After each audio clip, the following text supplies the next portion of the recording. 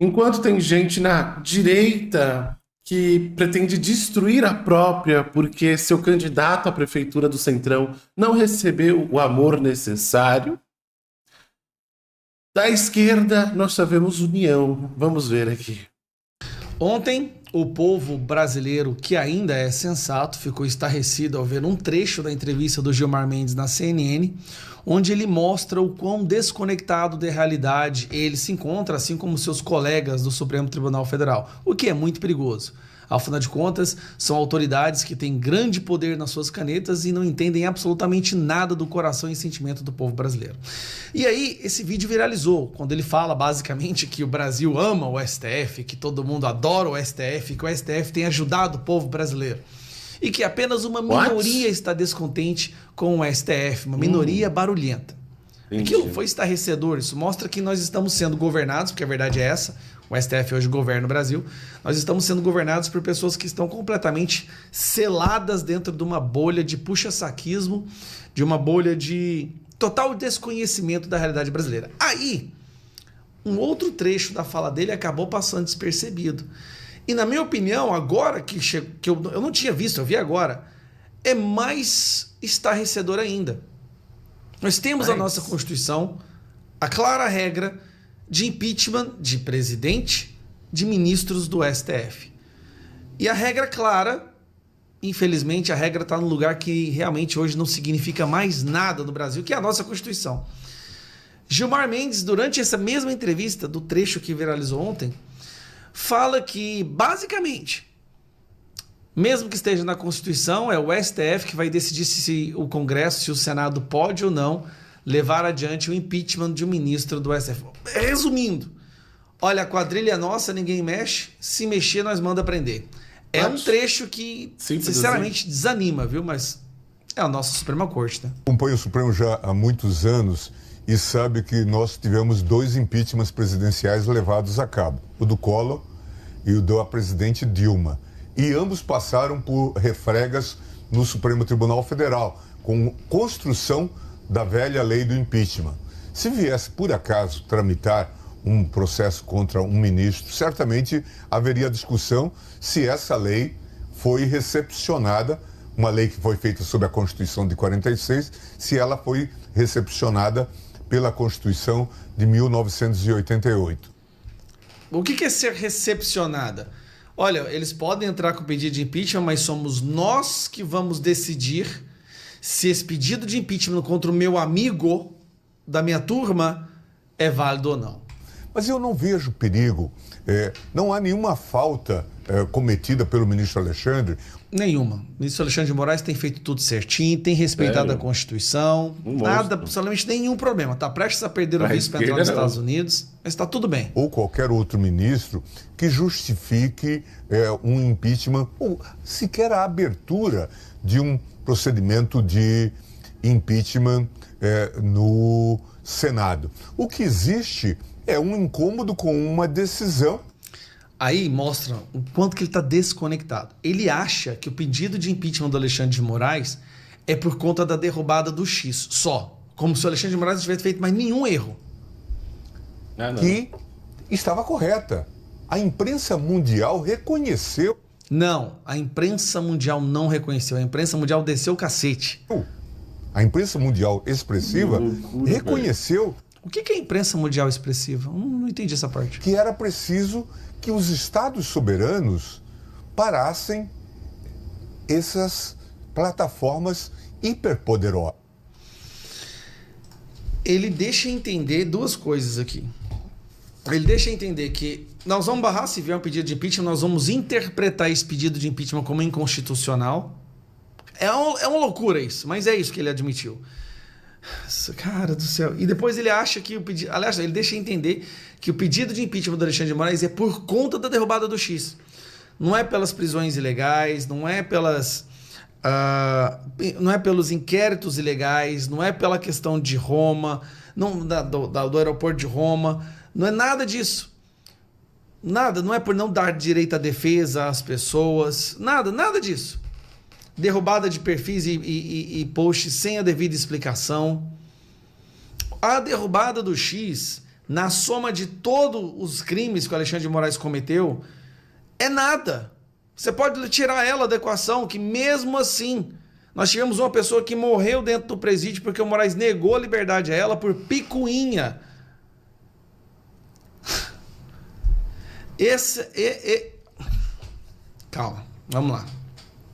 Tá Nós não, tá estamos bravo tendo as nossas vidas, o nosso país e as nossas liberdades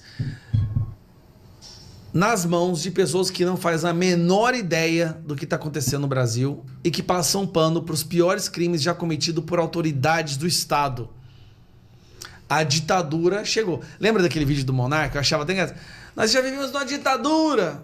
Essa é a verdade. Esse é o coração do povo brasileiro hoje está sentindo. Nós vivemos numa ditadura, mas é uma ditadura onde existe um grupo que protege o ditador. E esse grupo tem autoridade porque são os ministros do STF. A maioria escolhidos por Lula, pela esquerda. Mas nós não vamos desistir. Nós não vamos desistir. Nós vamos fazer a maioria do Senado 2026. Você pode ter certeza que não supera. Isso aí não prospera. Esse grupo não vai conseguir manter o Brasil debaixo desse medo desse terrorismo. E, gente, peraí que tem mais assunto Ontem- aqui do próprio Gaia sobre o, mo- o, O problema Gilmar. que o Brasil está enfrentando agora é muito sério. E a fala do Gilmar Mendes, numa entrevista para o CNN hoje, para a CNN, só comprova isso. Curioso. Mais uma vez, o ministro da, do Supremo Tribunal Federal dando entrevistas, coisas que você não vê em nenhum outro país. Aqui, eles dão mais entrevistas que próprios políticos, que a própria presidente. Hoje, Gilmar Mendes foi na CNN para mostrar o quão desconectados da realidade estão esses ministros, que estão ali no Monte Olimpo, cercado por puxa-sacos, dentro de uma bolha intransponível, onde eles não entendem mais o que acontece, o que a população deseja, os anseios da população, as frustrações, as indignações da população. Veja esse trecho do Gilmar Mendes, depois eu vou te mostrar como que o que ele está falando é completamente desconectado da realidade. O tribunal fica numa posição extremamente curiosa, porque aqueles que são beneficiados diretamente pelas decisões do tribunal, é, que acho que é a maioria, a maioria da população é beneficiada com as decisões do tribunal, de acordo com a redoma dos deuses do STF. da população, é, eles não saem às ruas para fazerem barulho. Mas há uma minoria barulhenta que sempre está xingando o Supremo. O Supremo vira a genia. A culpa é do Supremo. É o tribunal. Vamos lá. É, O Supremo Tribunal Federal está legalizando drogas. Só para deixar claro, nosso canal tá há uma década falando que o problema do Brasil é o STF. Uma década. Porque todos os problemas, todos os problemas que você puder imaginar, de corrupção, de Estado inchado, de desrespeito às leis, do judiciário ser uma porcaria, todos os problemas desse Brasil, toda a Odebrecht, JBS, todos eles podem ser rastreados a um só fator: STF. Tá? E assim, o problema deles é que agora o Brasil inteiro sabe disso. Antes era só os loucos conspiracionistas, agora é todo mundo. Está querendo tirar a palavra pai e mãe dos documentos. Isso aqui é um solta recente, todos né? os traficantes que são presos. Solta todos os corruptos. Acabou com a Lava Jato. Acabou com as multas das empresas envolvidas na Lava Jato. Destrói a propriedade privada, né? tá, tá acabando com a propriedade privada no Brasil com decisões absurdas sobre a tal bandeira indígena e do meio ambiente. Acaba com o Congresso, destrói por completo a capacidade do Congresso de criar leis, sendo que essa é a função originária do Congresso de qualquer país democrático. Mas aqui vem a principal. Aqui são palavras minhas, você não precisa acreditar nas minhas palavras. Vamos analisar o que, que essa pesquisa do Atlas trouxe que não pode ser esquecida. Em fevereiro desse ano, confiança no judiciário e imagem dos ministros do STF. Então, essa pesquisa foi feita com centenas de pessoas. Tá? 1.509 pessoas responderam de todas as faixas etárias, ó, tá aqui, to- de todos os nichos da sociedade. Veja aqui, você confia no trabalho dos ministros do Supremo Tribunal Federal? 50,9% não confia, 42% confia. Nós temos uma maioria. Se isso aqui fosse democracia, o STF seria agora trocado. Todos os membros do STF deveriam ser Já trocados. prova que ele mentiu, Isso para né? você ver que o aumento do não confia e a queda do confio. Mas vamos para a próxima. Como que o STF é visto em relação às lutas né, das seguintes questões? Defesa da democracia. A maioria acha que o STF não defende a democracia, a maioria acha que ele não respeita o poder legislativo. O, o pior resultado é esse aqui, o combate à corrupção. É quase falando que o STF ajuda a corrupção no Brasil. Vamos para a próxima.